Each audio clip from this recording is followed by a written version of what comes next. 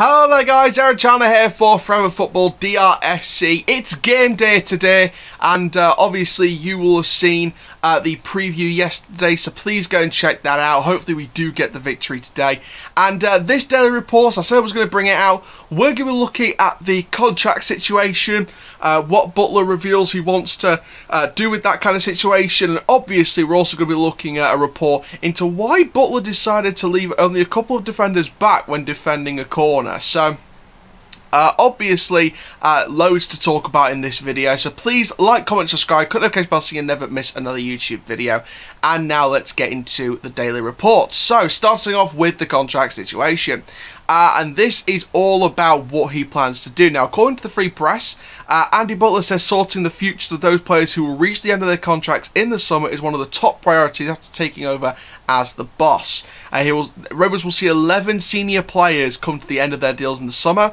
We know that uh, and Taylor have one-year extensions options to their deals. So, you know, I think my prediction was clear at the start of this season. I, I predicted that Taylor and Lokilo would get their one-year extensions and then they would be the, the focus for next summer uh, afterwards. And, um, you know, and obviously Butler was the other one-year extension, but obviously that doesn't count now because he's manager.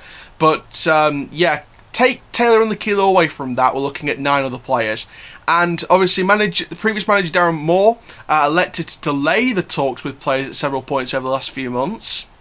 Still starting to make sense now, isn't it? Uh, but Butler is keen to commence formal negotiations as soon as possible and will look for the green light to do so when they meet with the board later this month. So it will be hopefully as soon as possible, and of course during that meeting later this March. Um, you know, we're going to have that meeting and sort of uh, see exactly what's going to happen uh, with that. Now, of course, Butler said the first thing I said is I want to sort out contracts and get players signed up for Doncaster Rovers that want to be at Doncaster Rovers. So, first statement, very good. Players that want to play here, players that will play for the badge on the shirt, they will stay. Those that don't will go. Like the Kieran Sadlier situation, and I think that was handled in an interesting way. Um, you know, stalling on a new deal. We were waiting for the new contract on the table. We offered the amount of money. Sadlier said no, let the contract run down to the end of the season. Then went to Rotherham, and you know, we we, we waved goodbye. And I don't think many fans were very happy with Kieran Sadlier with the way he's dealt with it. So, um, you know, obviously we don't want to make that kind of mistake again.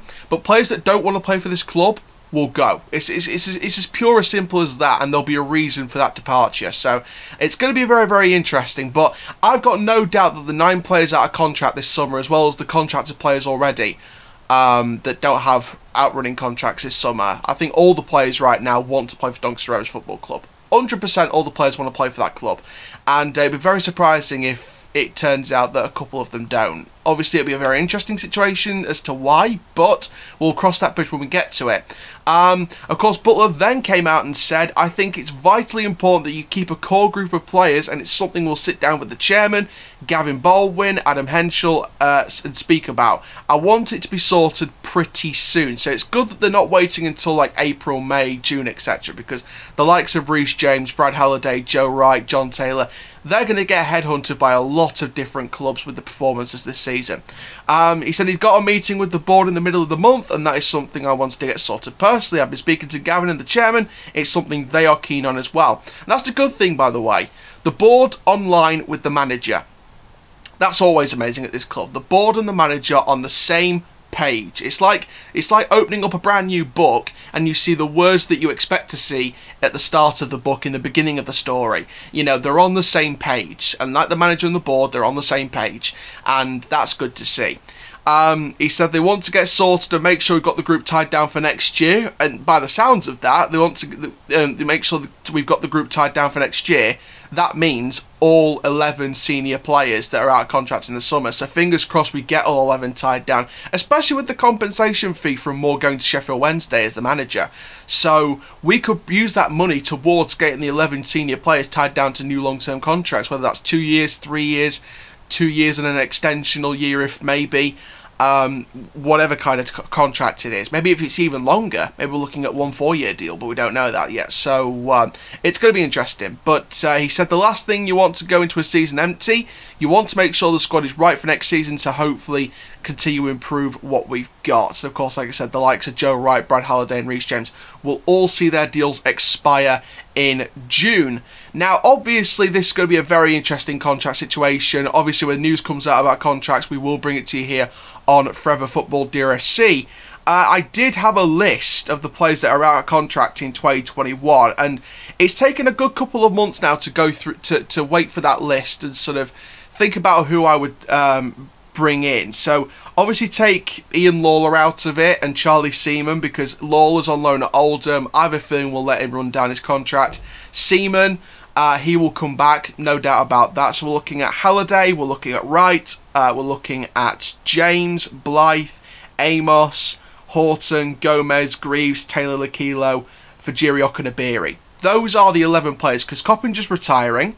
Um, obviously, Andy Butler's the manager. Ian Lawlor's probably going to go, and Charlie Seaman will stay anyway. So um, we're looking at Halliday. I think he's going to stay. Wright, I think he's going to stay. Blythe, maybe, maybe not. We don't know that yet, but he's a good youngster, and I think he'd be a, a good asset if we need to. Uh, so I think he might stay. Uh, Reece James, he'll stay. Danny Amos, he'll stay. Uh, Brendan Horton, maybe he'll move on. Uh, Madger Gomes, he'll stay.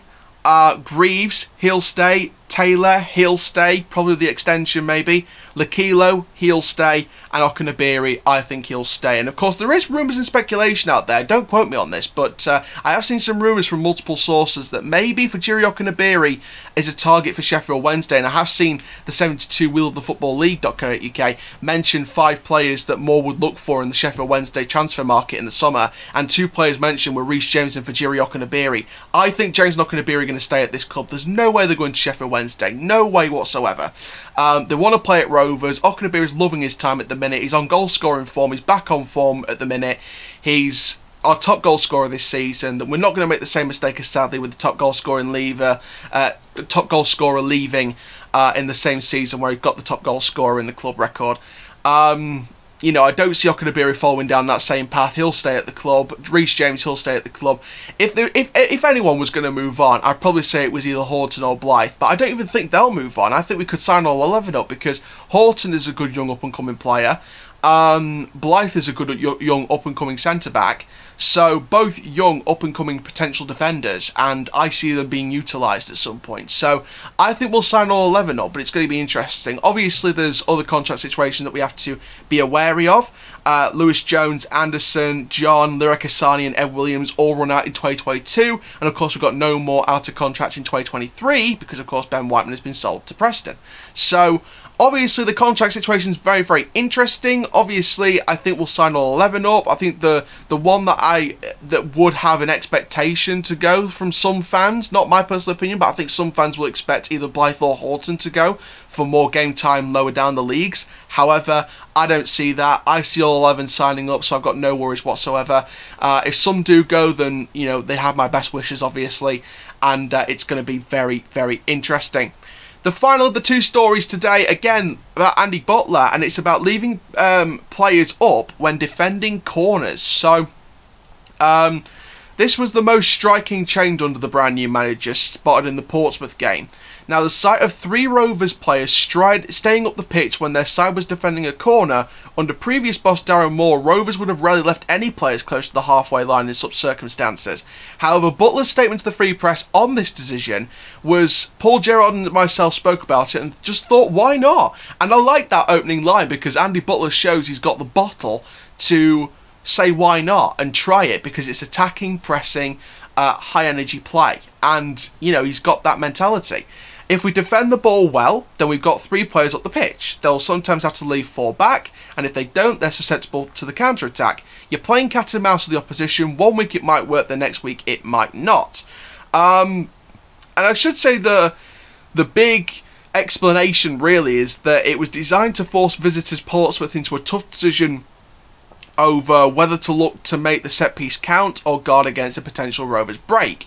And obviously, like he said, it's going to work against some people, it's not going to work against other people. So you are expected to see it work sometimes, but not all the time. And will it work against Plymouth? Depends how they approach the game to, um, today. I think it depends how they approach the game. So it's going to be interesting. It's going to be uh, quite uh, unusual, but I'm excited about it. And um, again, I think today's been a really positive daily reports. Contract situations. Hopefully, middle of March, we'll have some kind of update uh, on that. And obviously, uh, the manager wanting to, um, to, to to play very risky when defending a corner. And we, we've been conceding a lot of set pieces recently. And um, you know, when Butler's come in, when Moore's exited, you know, we've kind of we've kind of shut that out in a bit of a way. We've sort of cleaned up at the back during set pieces. So.